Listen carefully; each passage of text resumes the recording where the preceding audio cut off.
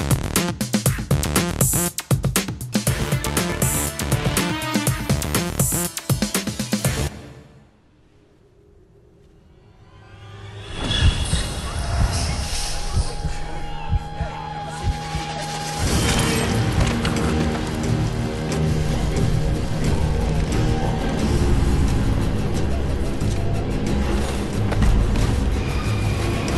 lot of Gamescom trailers, a lot of Gamescom demos give you a lot of bang for your buck. You see a lot of explosions, a lot of shooting.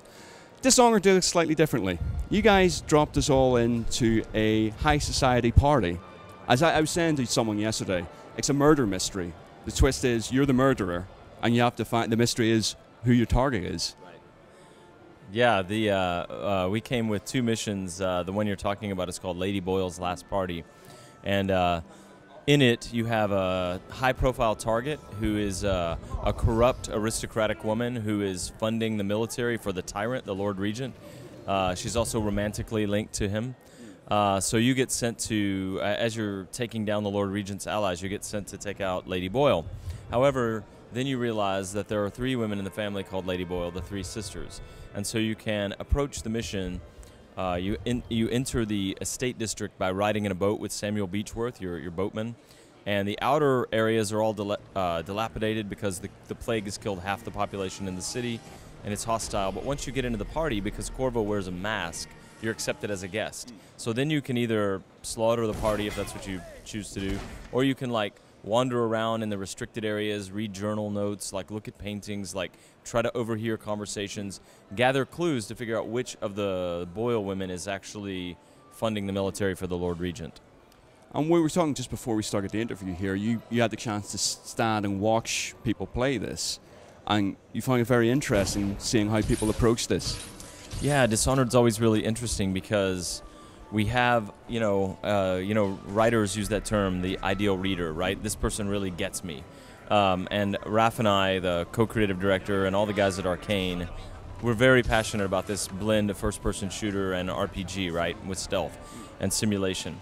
And so when we we know when we are talking to someone or watching someone play who's kind of like our ideal player, uh, and it's a pleasure, it's a joy. But it's also interesting to watch people who don't normally play this type of game. Maybe never even played Deus Ex, never played Thief, never played Bioshock or Stalker. Maybe they're only familiar with, um, you know, more scripted games or traditional games. And so watching them is interesting too. You know, some people slaughter their way through a room full of people that would have just asked them for ask him for a drink or you know like talk to him. Uh, in other cases, they don't use stealth or they do. They don't realize they can get up on the rooftop. They just go down the street because that's what other games have trained them to do. So it's, we learn something every time we watch people play. Does it feel like you really have to break the mold here, or you have to break people's belief that this is how these games should be played? It, it's kind of a re-education process, and uh, with some players, there's this light bulb moment, you know, where the guy's standing there, he's looking down the street, he sees some guards, he's low on health, so he doesn't want to approach the guards.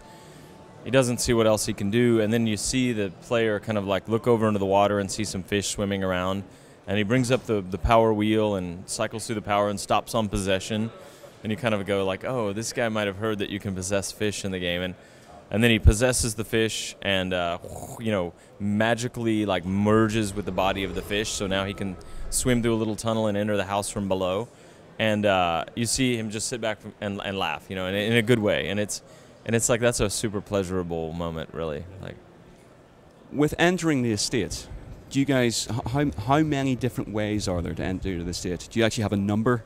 You give me.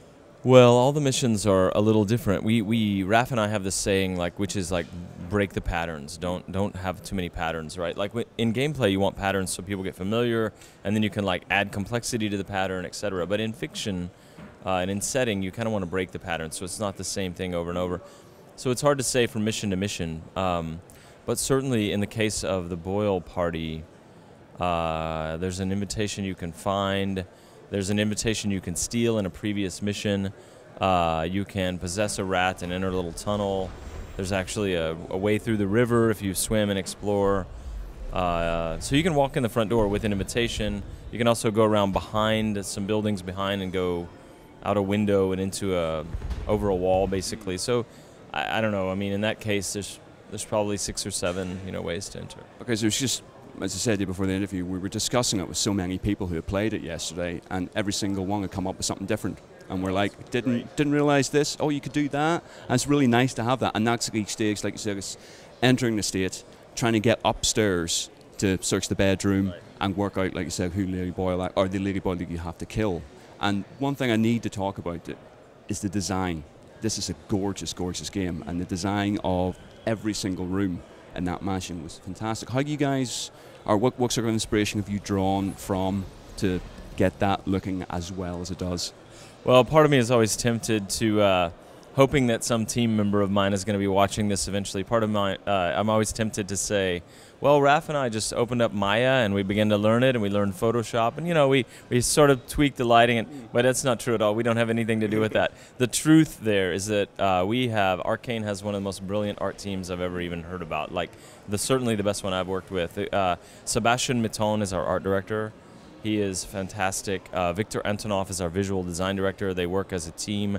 And Sebastian's art team is really, really talented. We have Damien Laurent, who is a fantastic uh, architect with a really eye for, for flair. And our lighting guys are fantastic. And so they do things that we just can't believe. And so this mission in particular, Raf and I planned this with our lead designer, Christophe Carrier, and uh, des- the designer of the mission, Anthony Huso, who was the winner of the Golden Hammer for Thief. He's a, he's a Thief mod guy originally. We all got together and said, you know would be great is a costume ball where you have to move around, and one of the three sisters is, is the right woman. And uh, then we, you know, worked with the artists a little bit, and Sebastian and, and Victor took over, and it's just one piece at a time. Uh, Anthony working with Damien Laurent and and the uh, I can't remember the specific architect's name on the mission, but uh, that team of people, uh, they're you know they're fantastic, and it's just a collaborative effort between those guys. And we back up and look at it, and you know when we first talked about it, oh, it's a it's an ornate costume party. The, the point here is that in the middle of a plague that has killed half the population and that is completely a horror to the common people, the aristocrats are eating caviar and throwing a big costume ball and, and profiting from the plague. And uh, so this is kind of grotesque in a way, but it's beautiful grotesque. And um, I just can't give those guys enough credit for their, their artwork and their design and uh, all of it together, you know.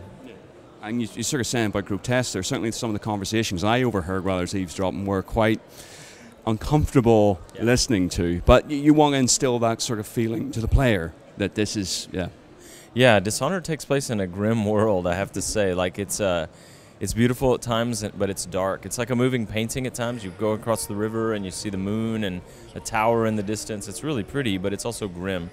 And uh, there's definitely a feeling of exploitation and every man for himself, and the plague bringing out the worst in people. Uh, we worked with Austin Grossman, uh, the you know game designer who worked on System Shock and games like that.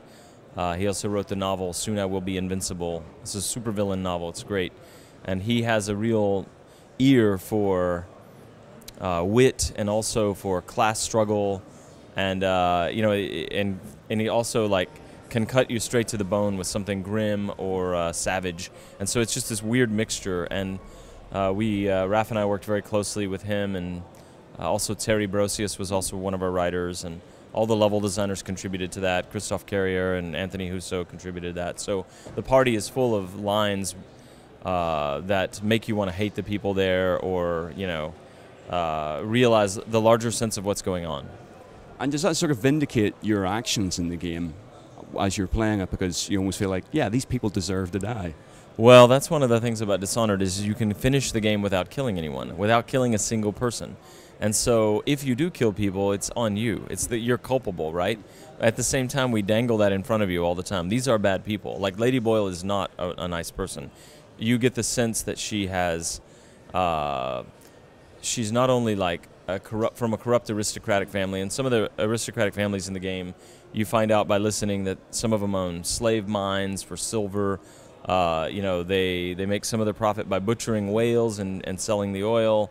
Um, they're all they're all incredibly decadent in the middle of a time when other people are starving. You know, so it is true that they're they're they're bad people in general. You know, they're, That- they're funding a, a tyrannical military that has uh, martial law ac- across the city, right? So, uh, but at the end of the day, we do also offer you a way besides just killing to, to solve the problem. So.